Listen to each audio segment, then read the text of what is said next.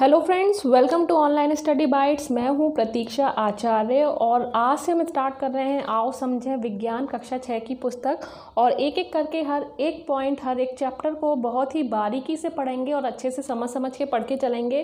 साथ ही जो भी क्वेश्चन बनकर आएँगे, उनका भी रिविज़न करवाएँगे और किस तरह से क्वेश्चन एग्ज़ाम में पूछे जा सकते हैं, उसकी भी तैयारी आपको इस चैनल पर करवाएँगे। तो चैनल को सब्सक्राइब करके बेलाइकन पर प्रेस करना बिल्कुल भी ना भूलें। साथ ही महान व्यक्तित्व की मैं बुक अपलोड कर रही हूँ, ऐसे ही धीरे धीरे करके हम सारी बुक्स यहाँ पर अपलोड कर देंगे, जिससे कि आपको जगह जगह से बुक्स ढूंढना ना पड़े तो एक ही जगह सारे सब्जेक्ट की बुक मिल जाएगी आपको। और ये बुक पढ़ना बहुत ज़रूरी है। अगर आप यूपी टेट या सुपर टेट या किसी भी यूपी के एग्ज़ाम में बैठ रहे हैं, यहाँ तक कि यूपी के नहीं, कोई भी ऐसा एग्ज़ाम जिसमें साइंस हिंदी हिस्ट्री जोग्राफ़ी इस तरह के सब्जेक्ट के क्वेश्चन पूछे जाते हैं तो ये बुक आप ज़रूर पढ़ें। यहाँ से आपको बहुत सारी ऐसी चीज़ें मिलेंगी जिनसे क्वेश्चन अक्सर एग्ज़ाम में पूछ लिए जाते हैं और अगर आपने पढ़ा होगा तो आप उस क्वेश्चन का आंसर जो है आसानी से दे पाएँगे। तो चलिए स्टार्ट कर लेते हैं और ये आप देख सकते हैं बेसिक शिक्षा अभियान के तहत ये बुक चलाई गई हैं, जो कि गवर्नमेंट स्कूल में पढ़ाई जाती हैं। तो ये जो बुक है 2019 और 20-20 सेशन की है, यानी कि बिल्कुल नई बुक है। इसी समय की करंट की बुक है। तो सिलेबस काफ़ी चेंज हो चुका है। पुरानी बुक से नई बुक में काफ़ी अंतर आया है। चैप्टर वही हैं, पर बहुत सारी नई ऐसी चीज़ें हैं जो नई बुक में जोड़ी गई हैं। अगर इससे पुरानी बुक है, आपकी सत्रह अठारह की है, सोलह सत्रह की है तो कोशिश करें कि आप 2019 और 20 बीस की बुक से ही अपने नोट्स तैयार करें। तो उसके लिए आपको चिंता करने की ज़रूरत नहीं है। उन्नीस बीस बीस की जो बुक हैं, वो यहाँ पर इस चैनल पर सारी अपलोड की जाएँगी। तो किताबें ज़रूर पढ़ें। इस चैनल को सब्सक्राइब करके बेल आइकन पर प्रेस करना बिल्कुल ना भूलें। तो चलिए विषय सूची देख लेते हैं कि क्या क्या आप पढ़ने वाले हैं इस बुक में और आपको विषय सूची देख के ही समझ में आ जाएगा कि कितनी ज़रूरी है ये बुक पढ़ना और कितनी इंपॉर्टेंट है आपके एग्ज़ाम के लिए। तो इकाई वन में दैनिक जीवन में विज्ञान, फिर है पदार्थ एवं पदार्थ के समूह, पदार्थों का पृथककरण पास पड़ोस में होने वाले परिवर्तन तंतु से वस्त्र तक जीव जगत, जीवों में अनुकूलन। तो देखिए, आपके शुरू के ही चैप्टर ऐसे हैं कि आपने देखा होगा कि अगर आपने प्रीवियस ईयर के पेपर देखे हैं, किसी भी एग्ज़ाम के जिसमें साइंस या ईवीएस पूछा जाता है तो यहाँ से प्रश्न ज़रूर बनकर आते हैं। तो यूपी टेट हो या सुपर टेट हो तो उसके लिए तो बहुत ही ज़्यादा ही ज़रूरत है इस बुक को पढ़ने की। इंपॉर्टेंट है। तो जीवों में अनुकूलन हम पढ़ेंगे इस बुक में। जंतु की संरचना व कार्य, भोजन, स्वास्थ्य स्वास्थ्य एवं स्वच्छता, मापन, गति, ऊर्जा, प्रकाश, वायु जल और कंप्यूटर। तो यहाँ पर सेवनटीन चैप्टर दिए गए हैं और इन सत्रह चैप्टर को हम एक एक करके एक एक वीडियो में अपलोड करेंगे। अगर कोई चैप्टर बड़ा होगा तो वीडियो दो भागों में भी बट सकता है। लेकिन छोड़ना कुछ भी नहीं है। चाहे थोड़ा ज़्यादा पढ़ लें, पर पढ़ेंगे सब कुछ। तो चलिए स्टार्ट कर लेते हैं आज के फ़र्स्ट चैप्टर से। तो पहला चैप्टर है तो थोड़ा इंट्रोडक्शन तो बनता ही है। तो फ़र्स्ट चैप्टर दैनिक जीवन में विज्ञान विज्ञान की क्या भूमिका है? मनुष्य जो है, स्वभाव से ही जिज्ञासु प्रवृत्ति का रहा है। यानी कि आपके मन में भी या बच्चों के मन में सबसे ज़्यादा होती है कि कुछ ना कुछ जानने की इच्छा जो है वो बनी रहती है। और उन प्रश्नों का जो जवाब है, वो आपके पास नहीं होता तो आप किसी बड़े के पास जाते हो। उन प्रश्नों का उत्तर ढूँढने या उत्तर मांगने या फिर ऐसे इंसान के पास जाते हो जिसको उसके बारे में पता हो, जानकारी हो, जो आपके प्रश्नों का जवाब दे पाए। तो ऐसे ही यहाँ पर एक बालिका के बारे में बता, बताया गया है सीमा कि उसके मन में भी कई सारे प्रश्न थे, कई सारी जिज्ञासाएँ थीं। तो वो अपनी माँ से पूछती है कि कोई भी चीज़ ऊपर फेंकने या छोड़ने के बाद ज़मीन पर क्यों गिर जाती है? प्रेशर कुकर में खाना जल्दी कैसे बनता है? दूध से दही कैसे बनता है? फ्रिज में सामान ठंडा कैसे रहता है? चिड़िया जो है, कैसे उड़ती है? उसकी माँ का, इन प्रश्नों का जो जवाब था, उसकी माँ के पास नहीं था तो वो कह देती है कि अपनी शिक्षिका से पूछना। तो दूसरे दिन सीमा ने वही सवाल कक्षा में अपनी शिक्षिका से पूछे और शिक्षिका ने सीमा को समझाते हुए कहा कि सभी सवालों के जो जवाब हैं, वो हमारे आसपास की दुनिया से ही संबंधित हैं। मनुष्य में हर चीज़ को जानने समझने की उत्सुकता होती है और उत्सुकता देखने, छूने, स्वाद चखने या सुनने के कारण उत्पन्न होती है। तो ये देखना, छूना, सूंघना, स्वाद चखना, सुनना तो ये क्या है? ये हमारे पाँच सेंसेस हैं, जो हमारे आसपास की दुनिया को हम इन पाँच सेंसर्स के द्वारा जान रहे हैं। हमारे सवालों के जवाब इन सेंसेस से मिल रहे हैं, ठीक है? तो हमारे मन में तरह तरह के सवाल उठते हैं, उसे उत्सुकता कहते हैं, विज्ञान इन सवालों का उत्तर देने की कोशिश करता है। सीमा ने कहा, ठीक है, लेकिन विज्ञान कैसे इन सवालों का उत्तर देता है?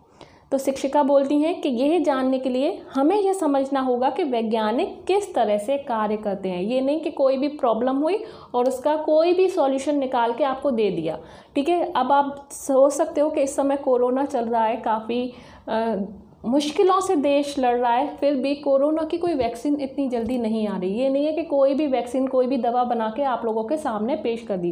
काफ़ी सारे स्टेप्स होते हैं। उसके बाद जब पूरा निरीक्षण हो जाता है, जब कंफर्म हो जाता है कि यही दवाई है, यही बेस्ट है, तब आप लोगों के सामने वो चीज़ पेश की जाती है।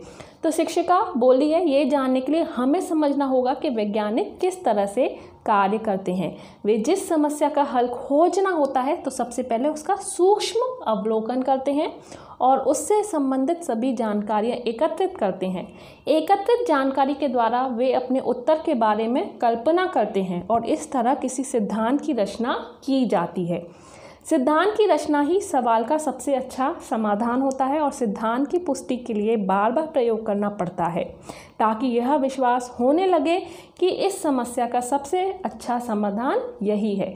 अलग अलग तरह से आप वो चीज़ करके देखोगे और जो बेस्ट होता है, जब आपको लग जाता है कि यही इसका सही आंसर होगा, तब आपको तसल्ली होती है और तब आप उस चीज़ को दुनिया के सामने रखते हो। शिक्षिका ने बताया, जैसे सीमा का सवाल था कि वस्तुएँ हमेशा ज़मीन पर ही क्यों गिरती हैं? तो आप रोज़ देखते हो कि अगर आप कोई भी चीज़ हवा में उछाल रहे हो या फेंक रहे हो तो वो ज़मीन पर गिर जाती है। क्या ऐसा हर जगह होता है? हर वस्तु के साथ होता है? तो सीमा को सोचने के लिए कहा तो सीमा ने यही कहा कि हाँ किसी भी वस्तु को उछालोगे हर जगह, ये नहीं कि आपके घर में ही वो चीज़ गिर रही है। आप कहीं पर भी किसी वस्तु को उछालोगे तो वो ऊपर जाके नीचे आनी ही आनी है। अगर आप ऐसा कर पाएँगे कि हर तरह की वस्तु, जैसे फूल हुआ, पत्थर हुआ, सिक्के हुए, कपड़े हुए, चाहे जहाँ भी गिराएँ, वापस ज़मीन पर गिरते हैं तो इसे देखकर महान जो वैज्ञानिक थे, कौन थे महान वैज्ञानिक? Sir Isaac Newton. ने यह निष्कर्ष निकाला कि पृथ्वी पर हर वस्तु को गुरुत्वाकर्षण के कारण अपनी तरफ़ खींचती है। किसने कहा है ये? आइजैक न्यूटन ने, जिसकी वजह से प्रत्येक वस्तु पृथ्वी पर गिरती है। तो सीमा अपने प्रश्न का इतना सरल उत्तर पाकर उत्साहित हो गई और आप भी, आपके मन में भी बहुत सारे सवाल ऐसे होते हैं और जिनका उत्तर आपको मिल जाता है तो आप सोचते हैं, और इसका आंसर तो बहुत ही आसान था। लेकिन उसका आंसर तो आसान होता है, लेकिन वो आंसर निकला किस तरह से? वो चीज़ थोड़ी ट्रिकी होती है, वो चीज़ थोड़ी जटिल होती है। ठीक है? ऐसे ही शिक्षिका सीमा के उत्साह को देखकर बोली कि ज़्यादातर उत्तर सरल ही लगते हैं, लेकिन उनके उत्तर या सिद्धांत पाना अक्सर जटिल होता है। वैज्ञानिक किसी भी समस्या, जिज्ञासा का समाधान प्राप्त करने के लिए वैज्ञानिक विधि के विभिन्न चरणों के द्वारा निष्कर्ष निकालते हैं। तो चरण कौन कौन से थे? तो एग्ज़ाम्पल से समझेंगे तो पहला है जिज्ञासा। यानी कि आपके मन में जिज्ञासा हुई किसी काम को जानने की। आपने कोई चीज़ होते हुए देखी तो आपके मन में क्या हुआ? प्रश्न उठा कि ये काम हुआ कैसे? जैसे मैंने कोई भी मिट्टी का टुकड़ा या पत्थर का टुकड़ा पानी में फेंका और वो डूब गया तो मैं सोचूँगी कि ये डूबा क्यों? ये तो बहुत हल्का था। ठीक है, फिर आया परिकल्पना। फिर आपने सोचा उसके बारे में, अगर मैं इसकी जगह कोई बड़ा टुकड़ा डालूँगी या मिट्टी का कोई टुकड़ा डालूँगी तो वो भी डूबेगा। तो आपने सोचा उस चीज़ के बारे में। फिर आप करोगे परीक्षण। सोच लिया है तो फिर आप काम भी तो करके देखोगे ना। फिर आपने वो काम करके देखा। आपने कोई मिट्टी का गोला बनाया और उसे पानी में डालने के सोच लिया। फिर आपने उसे पानी में डाल दिया, यानी कि उसका निरीक्षण किया, देखा कि वो गोला जो है मिट्टी का, वो डूब चुका है। फिर आपने निरीक्षण सिर्फ़ एक चीज़ का नहीं किया, आपने उसे विश्लेषण और वर्गीकरण भी किया। यानी कि आप सिर्फ़ गोला डुबो के नहीं देखोगे, आप सोचोगे कि अब मैं और मिट्टी के बर्तन लाती हूँ या और मिट्टी की चीज़ लेकर आता हूँ, उनको डुबा कर देखता हूँ कि क्या सभी चीज़ें पानी में मिट्टी की डूब जाती हैं। तो आपने अलग अलग निरीक्षण करके देखे, विश्लेषण किया और फिर किया वर्गीकरण। आपको पता लग गया कि कौन सी चीज़ें हैं जो डूबती हैं मिट्टी की और कौन सी चीज़ें होंगी जो नहीं डूबेंगी। जैसे मिट्टी की कोई आप नाव बनाओगे, मिट्टी का कोई दीवला बनाओगे, आप देखोगे वो तैर रहा है, लेकिन जो मिट्टी का गोला है वो डूब गया है। तो आपने वर्गीकरण कर लिया कि कौन कौन सी चीज़ें हैं जो तैरती हैं और कौन कौन सी चीज़ें हैं जो डूब जाती हैं? फिर आपने उस चीज़ के बारे में नोट्स बनाए, अभिलेखन किया, उस चीज़ को और अच्छे से देख देख के उसके बारे में लिख लिया। फिर आप पुनर्विचार करोगे कि अगर मैं उस मिट्टी के गोले को थोड़ा सा अलग आकार दे दूँ, उसे नाव के आकार का बना दूँ तो क्या तब वो तैरेगा या डूब जाएगा? आपने उस पर पुनर्विचार किया। फिर निष्कर्ष निकाला कि आपने अगर मिट्टी का गोला आप डालोगे तो वो डूब जाएगा। अगर उस गोले को अपने आकार दे दिया नाव जैसा तो वो तैरता रहेगा। तो ये आपने निष्कर्ष निकाल लिया। फिर ये हो गया नया प्रयोग। फिर आप उसे देखोगे कि अगर मैं उस गोले को किसी नाव के ऊपर रख दूँ तो क्या वो डूबेगा या तैरता रहेगा? फिर आपने उस जो मिट्टी का गोला सादा डालने पर पानी में डूब रहा था, अगर आप उसे किसी दीवले पर या किसी नाव के जैसे शेप में किसी ऐसी चीज़ पर रख दोगे और तब वो तैर रहा होगा, तब आपके सामने एक नया प्रयोग बनकर आ जाएगा। तो ये होता है वैज्ञानिक विधि। ये होते हैं वैज्ञानिक विधि के विभिन्न चरण। कौन सा? जिज्ञासा, परिकल्पना, परीक्षण, निरीक्षण, विश्लेषण अभिलेखन, पुनर्विचार, निष्कर्ष निकालना और नया प्रयोग। तो ये आठ स्टेप हैं जो कि वैज्ञानिक विधि के चरण हैं। तो आप देख सकते हैं ये फ़ोटो दे रखा है सर आइजक न्यूटन का, जिन्होंने हमें गुरुत्वाकर्षण के बारे में बताया। फिर आता है दैनिक जीवन में विज्ञान की देन। काफ़ी सारी चीज़ें हैं जो विज्ञान के द्वारा दी गई हैं, ये आप लोग बहुत अच्छे से जानते हो कि पहले टाइम में हमारे पास बिल्कुल भी कोई भी सुविधा की चीज़ें नहीं थी और आज कितनी सारी सुविधाजनक चीज़ें हमें विज्ञान ने प्रदान की हैं। चाहे वो रेलगाड़ी हो, यात्रा करने के लिए, चाहे वो कार हो, चाहे वो टीवी हो देखने के लिए और इस समय सबसे अच्छा उदाहरण आपके हाथों में मोबाइल, जो कि विज्ञान की ही देन है। तो बहुत सारी चीज़ें हैं जो विज्ञान ने दी गई हैं, विज्ञान के द्वारा दी गई हैं। उत्तम बीज आज हम देखते हैं, नहरें के सिंचाई के लिए पंप की सुविधा, ठीक है? कीटनाशक दवाएँ ये सारी चीज़ें ही विज्ञान की देन है। समाचार पत्रों और रेडियो द्वारा हमें देश विदेश की खबरें मिलना, क्रिकेट मैच और देश विदेश में होने वाले विभिन्न समारोह का सीधा प्रसारण टेलीविज़न पर देख सकते हैं, मोबाइल फ़ोन पर हम दूर किसी से बात कर सकते हैं, मोबाइल में ही अब टीवी जैसा सारी फैसिलिटी मोबाइल में ही है। तो ये सारी चीज़ें क्या हैं? विज्ञान की ही देन है। तो ये सारी चीज़ विज्ञान की देन है और ये इस चीज़ों से, इन चीज़ों से आप भली भांति परिचित हैं तो मुझे बहुत ज़्यादा डीप में जाने की ज़रूरत नहीं है। तो यहाँ आप देख सकते हैं सारी चीज़ें, फ़ोटो दे रखी है दूर संचार प्रणाली, रेलगाड़ी, बस हुआ, कार हुआ, ट्रैक्टर हुआ, टेलीविज़न हुआ, मोबाइल फ़ोन हुआ, ये सब विज्ञान की देन है। अब आगे बढ़ते हैं। परंपरागत एवं वर्तमान परिप्रेक्ष्य में विभिन्न क्षेत्रों में विज्ञान की भूमिका। विभिन्न क्षेत्रों में विज्ञान ने अपना योगदान दिया है। किस तरह विज्ञान ने योगदान दिया है? विज्ञान ने हमारे दैनिक जीवन में होने वाले बहुत से कार्यों को आसान बना दिया है। तो यहाँ आप देख सकते हो तालिका दे रखी है। जैसे पहले क्या होता था? परंपरागत प्रयोग में आने वाले वस्तु और आज विज्ञान की वजह से क्या चेंजेस आए हैं? जैसे भोजन के लिए मिट्टी के चूल्हा होता था, अब गैस चूल्हा है, इंडक्शन कुकर है, माइक्रोवेव है अवन है। कृषि के लिए बैल और कुएँ होते थे, इस समय ट्रैक्टर हैं, नहरें हैं, ट्यूबवेल हैं, यातायात के लिए बैलगाड़ी होती थी, ऊँट होते थे, इस समय कार है, बस है। ठीक है, इसी तरह के बहुत सारी चीज़ें हैं जो विज्ञान के द्वारा हमें दी गई हैं।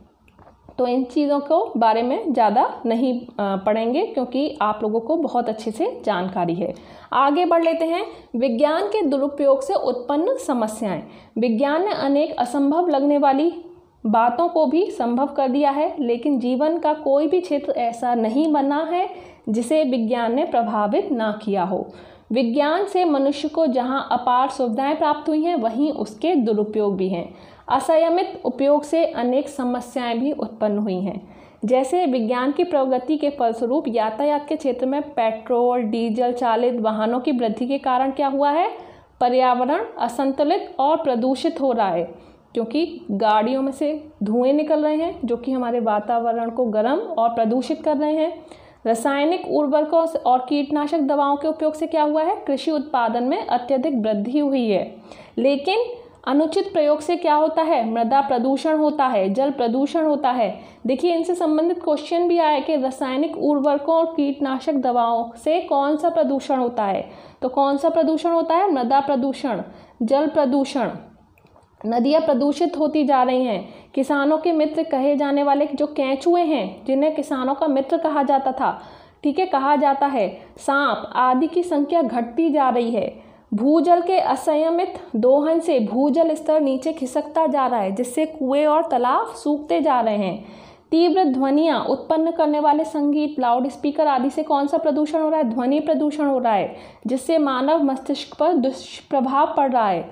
मानव बस्तियों में कूड़े, कचरे और अपशिष्ट पदार्थों के निस्तारण की समुचित व्यवस्था के अभाव में मानव जीवन संकटग्रस्त हो रहा है। रेडियोधर्मी विकिरण के कारण पृथ्वी पर जीवन के अस्तित्व का भय उत्पन्न हो गया है। ओजोन परत में छिद्र वायु प्रदूषण के कारण बन रहे हैं। परमाणु ऊर्जा के अनुचित प्रयोग से हिरोशिमा और नागासाकी में पलक झपकते ही लाखों लोगों के जीवन का अंत हो गया। रेफ्रिजरेटर और एयर कंडीशनर में प्रयुक्त गैसों से वायुमंडल में क्लोरोफ्लोरोकार्बन की जो मात्रा थी, उसकी वृद्धि हो रही है, जिससे ओजोन परत का निरंतर क्षरण हो रहा है। सड़कों पर दौड़ते वाहनों का जो धुआँ है, पेट्रोल और डीजल के दहन से वायु में कार्बन डाइऑक्साइड और नाइट्रोजन के ऑक्साइड की वृद्धि हो रही है, जिससे सिरदर्द दमा, अस्थमा आदि रोग हो रहे हैं। तो जहाँ फ़ायदा भी हुआ है तो वहाँ पर विज्ञान से कहीं कहीं नुकसान भी हुआ है। अत्यधिक जो यूज़ है, कहते हैं ना, हर चीज़ की जो अति होती है, वो नुकसानदेही होती है। तो सेम यहाँ पर भी है। वैज्ञानिक खोजों में भारतीय एवं विदेशी वैज्ञानिकों का योगदान पढ़ लेते हैं। तो सबसे पहले हम पढ़ेंगे चरक के बारे में। चरक भारतीय वैज्ञानिक थे, प्राचीन भारतीय वैज्ञानिक ने जड़ी बूटियों के औषधि गुणों के द्वारा रोगों के उपचार की विधि का विकास किया। साथ ही दूसरे थे सुश्रुत। तो ये ध्यान रखिए, जो चरक है, इनकी एक पुस्तक है, चरक संहिता, और ये जो है, ये काय चिकित्सा से संबंधित हैं चरक। दूसरे थे सुश्रुत, ये शल्य चिकित्सा से संबंधित हैं, और इन्हें फादर ऑफ़ प्लास्टिक सर्जरी भी कहा जाता है। यानी कि प्लास्टिक सर्जरी के जो जनक हैं, ये शल्य चिकित्सा से संबंधित सुश्रुत हैं, और इन्होंने भी पुस्तक लिखी है सुश्रुत संहिता। ठीक है? इसके क्षेत्र में महत्वपूर्ण योगदान दिया है। फिर है आर्यभट्ट ने पाई। ये देखिए, का मान तथा श्रीधराचार्य वर्ग ने समीकरण का हल देने वाले प्रथम गणितज्ञ हैं। तो हर एक पॉइंट को बहुत अच्छे से बारीकी से पढ़ें, ठीक है? नोट्स बनाना चाहें तो आप नोट्स ज़रूर बनाएँ। इससे संबंधित क्वेश्चन आंसर की ज़िम्मेदारी मेरी है। मैं आपको क्वेश्चन बना बना के दूँगी कि किस तरह से क्वेश्चन आपके एग्ज़ाम में पूछे जाएँगे। तो आप बस ध्यान से ज़रूर पढ़ें। आधुनिक वैज्ञानिक खोजों में भारतीय एवं अन्य देशों के वैज्ञानिक एवं उनकी खोजों की तालिका 1.2 और 1.3 में दर्शाई गई है। तो भारतीय वैज्ञानिक एवं उनका योगदान देख लेते हैं 1.2 में। सबसे पहले जगदीश चंद्र बसु, जिन्होंने पौधों की संवेदनशीलता में योगदान दिया है। फिर है सर सी वी रमन, जिन्होंने प्रकाश की प्रकीर्णन क्षेत्र में योगदान दिया है। फिर है एस रामानुजम, संख्या संख्या सिद्धांत से संबंधित हैं। S N Bose, quantum mechanics, God particle से संबंधित हैं। मेघनाथ साहा, तापे आयनीकरण से संबंधित हैं। T R Seshadri organic chemistry से संबंधित हैं। होमी जहांगीर भाभा, परमाणु कॉस्मिक विकिरण से संबंधित हैं। विक्रम साराभाई, अंतरिक्ष अनुसंधान से संबंधित हैं। Doctor A P J Abdul Kalam, प्रक्षेपण शास्त्र और मिसाइल मैन भी इनको कहा जाता है। Doctor A P J Abdul Kalam को कस्तूरी रंगन, प्रक्षेपण शास्त्र, डॉक्टर हर गोविंद खुराना, आनुवांशिकी कोट की स्थापना और सुब्रमण्यम चंद्रशेखर खगोल विज्ञान से संबंधित हैं और लास्ट हैं कल्पना चावला जो कि अंतरिक्ष विज्ञान से संबंधित हैं। क्वेश्चन किस तरह से आएगा कि आपको कोई भी एक नाम दे दिया जाएगा? मान लीजिए जगदीश चंद्र बोस किससे संबंधित हैं? उन्होंने विज्ञान के किस क्षेत्र में योगदान दिया है? और आपके सामने चार ऑप्शन होंगे। कोई भी चार ऑप्शन हो सकते हैं, जैसे पौधे की संवेदनशीलता, प्रकाश का प्रकीर्णन संख्या सिद्धांत या फिर परमाणु। तो आपका सही आंसर आपने पढ़ा होगा, ये बुक पढ़ी होगी तो आपका सही आंसर क्या होगा? पौधों की संवेदनशीलता होगा। तो इसी तरह से क्वेश्चन पूछा जाता है एग्ज़ाम में तो आप ज़रूर ध्यान रखें। तो चलिए इसी के साथ आगे बढ़ लेते हैं। तो यहाँ पर कुछ पिक्चर्स दे रखे हैं, ये आप देख सकते हैं। आर्यभट्ट सी वी रमन, होमी, जहांगीर भाभा, कल्पना चावला और doctor A P J Abdul Kalam. फिर पढ़ लेते हैं। देशी, जो विदेशी वैज्ञानिक थे, उनका योगदान। इसमें एडवर्ड जेनर हैं, जिन्होंने रोगों की रक्षा हेतु वैक्सीन बनाई। Alexander Fleming, penicillin madam Marie Curie, radium और पोलेनियम। तो ये वाला देखिए, मैडम मैरी क्यूरी है, कई बार क्वेश्चन आया है अलग अलग यहाँ तक कि यूपी पीसीएस के एग्ज़ाम में भी इस तरह के क्वेश्चन आते हैं। तो ये मत समझिए कि सिर्फ़ आप, सिर्फ़ यूपी टेट की तैयारी कर रहे हैं, तभी ये क्वेश्चन पढ़ रहे हैं। आप किसी भी एग्ज़ाम की तैयारी कर रहे हैं, जहाँ साइंस के क्वेश्चन आते हैं तो ये बुक बहुत ही महत्वपूर्ण है। गैलीलियो गैलीली, दूरबीन थॉमस एल्वा एडिसन ग्रामोफोन और विद्युत बल्ब का आविष्कार किया है। गुलेलमो मार्कोनी ने रेडियो का अलेक्जेंडर ग्राहम बेल ने टेलीफोन का, सर आइजैक न्यूटन गुरुत्वाकर्षण का नियम और गति के सिद्धांत के बारे में इन्होंने बताया है। चार्ल्स बेबेस कंप्यूटर के पिता कहे जाते हैं। माइकल फेराडे डायनमो के, William Roentgen X ray, John Logie Baird ने आविष्कार किया है टेलीविज़न का। अल्बर्ट आइंस्टीन ने हमें फ़ोटो इलेक्ट्रॉनिक प्रभाव के बारे में बताया है। तो ये थे विदेशी वैज्ञानिक और यहाँ आप पिक्चर्स आप देख सकते हो। तो विदेशी वैज्ञानिकों के बाद चलिए कुछ और भी जाने देख लेते हैं। भारतीय एवं विदेशी वैज्ञानिक जिन्हें नोबल पुरस्कार से सम्मानित किया गया है कौन कौन है जिन्हें नोबल पुरस्कार से सम्मानित किया गया है? Sir C V Raman Har Gobind Khorana, Subrahmanyan Chandrasekhar, Albert Einstein, madam Curie Alexander Fleming.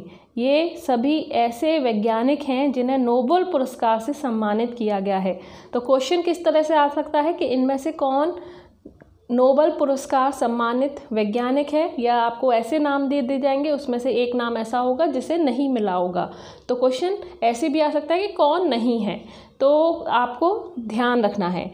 फिर है इसरो, जिसे कहते हैं, भारतीय अंतरिक्ष अनुसंधान संस्थान। ठीक है, आप पिक्चर भी देख सकते हो। भारत में अंतरिक्ष अन्वेषण तथा अंतरिक्ष प्रौद्योगिकी के विकास एवं उसके अनुप्रयोग का कार्य भारतीय अंतरिक्ष अनुसंधान संस्थान, जिसे इंडियन स्पेस रिसर्च ऑर्गेनाइजेशन द्वारा किया जाता है। ठीक है, इससे संक्षेप में क्या कहते हैं? इसरो भी कहते हैं और इसकी स्थापना कब हुई? देखिए मोस्ट इंपॉर्टेंट है। ध्यान रखिएगा, इसरो की स्थापना 15 अगस्त उन्नीस सौ उनहत्तर को हुई। इसरो का मुख्यालय कहाँ पर है? फिर से मोस्ट इंपॉर्टेंट बेंगलुरु में है। यहाँ क्या होता है? कृत्रिम उपग्रहों को डिज़ाइन करके निर्माण किया जाता है। कृत्रिम उपग्रह भी पृथ्वी की परिक्रमा करते हैं। कृत्रिम उपग्रह अंतरिक्ष में कुछ प्रमुख उद्देश्यों के लिए प्रक्षेपित किए जाते हैं, जिनमें दूरसंचार, मौसम विभाग संबंधी अध्ययन, आपदा प्रबंधन नौवहन और समर्पित दूरस्थ शिक्षा संबंधी उपग्रह आदि प्रमुख हैं।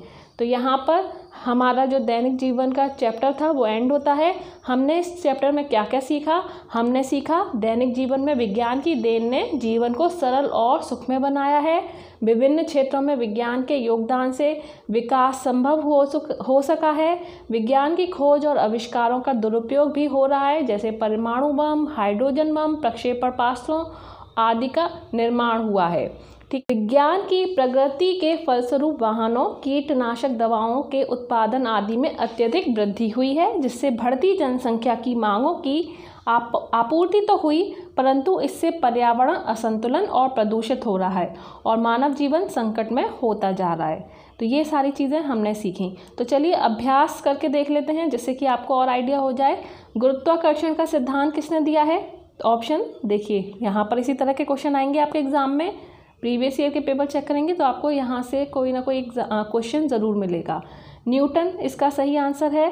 फिर है, वैज्ञानिक विधि का चरण नहीं है। तो हमने जिज्ञासा पढ़ा था, जिसमें प्रश्न करना होता है, परीक्षण पढ़ा था, निरीक्षण पढ़ा था।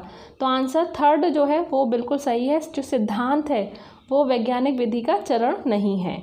तीसरा क्वेश्चन है, भारतीय वैज्ञानिक हैं। कौन है एडिसन, मैडम क्यूरी, गैलीलियो और हरविंद गोविंद खुराना? तो भारतीय वैज्ञानिक कौन है? हर गोविंद खुराना है, जिनके बारे में मैंने आपको बताया था। ये तीनों विदेशी वैज्ञानिक हैं और हर गोविंद खुराना भारतीय वैज्ञानिक हैं। फिर आगे, ओजोन परत में छिद्र का कारण क्या है? जल प्रदूषण, ध्वनि प्रदूषण, वायु प्रदूषण या इनमें से कोई नहीं। तो ओजोन परत में जो छिद्र का कारण होगा, वो कौन सा होगा? वायु प्रदूषण। ऑप्शन सी इसका सही आंसर है। ठीक है, इसी तरह से निम्नलिखित प्रश्नों के उत्तर, दो भारतीय, दो विदेशी वैज्ञानिकों के नाम तो आपने पढ़े हैं। ये यहाँ पर। तो चलिए मैचिंग कर लेते हैं। विदेशी और भारतीय वैज्ञानिकों में आप विदेशियों के नाम अगर मैं बताऊँ तो आप मार्कोनी लिख सकते हैं, थॉमस एडिसन लिख सकते हैं। ठीक है, और भारतीय डॉक्टर हर, गोविंद खुराना हैं होमी जहांगीर भा, भावा हैं, बहुत सारे नाम हैं। अब का और खा को मिलान कर लेते हैं ए पी जे अब्दुल कलाम। इन्होंने क्या किया है? इन्होंने प्रक्षेपण शास्त्र की खोज की। मैडम क्यूरी ने क्या किया है? मैडम क्यूरी जो है, इन्होंने रेडियम का जन्मदाता इन्होंने रेडियम और पोलेनियम की खोज की है।